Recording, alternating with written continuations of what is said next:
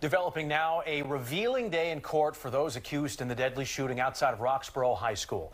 You'll remember 14-year-old Nicholas Elizalde was killed in the ambush. And tonight we're getting new details on the four suspects. These are pictures of three of them.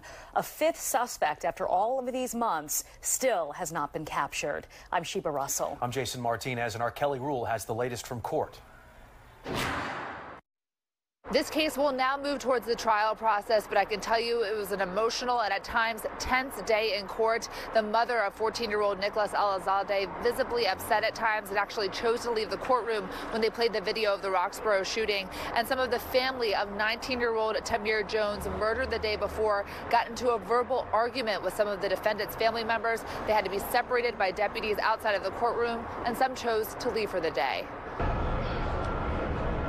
Three Philadelphia police homicide detectives called to the stand by prosecutors outlined extensive evidence that led to the arrests of 15-year-old Troy Fletcher, 21-year-old Yaaseen Bivins, 17-year-old Zyhied Jones, and 16-year-old Saleem Miller for the deadly shooting outside Roxborough High School. 14-year-old Nicholas Elizalde was killed and four others wounded as they were walking out of a football scrimmage September 27th.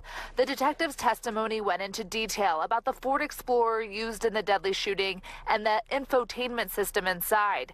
Detectives say that system linked 16 year old Dayron Burney-Thorne's cell phone, who investigators still have not located and arrested. Detectives testified a search warrant of Burney-Thorne's phone led them to the numbers of the four other defendants, and evidence recovered from all four phone numbers placed them at the scene at Roxborough High School.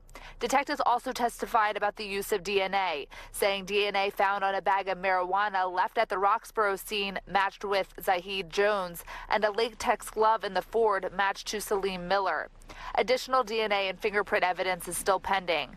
Detectives also testified ballistic evidence recovered at the scene showed two of the five guns used in the Roxborough shooting matched the ballistics in the deadly shooting of 19-year-old Tamir Jones the day before, and that investigators were able to link Zyhied Jones and Troy Fletcher to Tamir Jones' murder through evidence including cell phone records and video surveillance that showed the pair wearing similar clothing items in the Roxborough shooting. Defense attorneys tried to poke holes in the cell phone records and recover DNA, but a judge ultimately decided to uphold all charges. The big question not answered in court what was the motivation behind both of the deadly shootings? Again, 16-year-old Dayron Burney-Thorne still wanted tonight on murder and related charges for the Roxborough shooting and the murder of Jones the day before. New today, prosecutors also confirmed they are looking for a sixth individual in that Roxborough shooting, the alleged driver of the Ford Explorer. That person has not been identified. Reporting outside the Criminal Justice Center, I'm Kelly Rule, Fox 29 News.